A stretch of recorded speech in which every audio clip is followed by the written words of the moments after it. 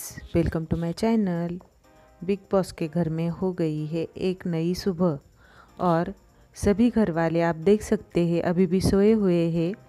बस तेजस्वी ही उठी है और तेजस्वी ने करण का जैकेट पहना हुआ है। करण सोते हुए नज़र आ रहे हैं, जैसे तेजस्वी हर रोज़ करण को उठाती है, वैसे तेजू ने आज करण को नहीं उठाया है। और वो बाहर गार्डन एरिया में जाकर डांस करती है। सभी घरवाले अभी भी सोए हुए हैं और तेजस्वी ने करण का पांडा वाला जैकेट पहना हुआ है और जैकेट पहनकर वो डांस करती है। ऐसे ही बिग बॉस की लाइव फ़ीड की खबरें जानने के लिए मेरे चैनल को लाइक और सब्सक्राइब कर देना।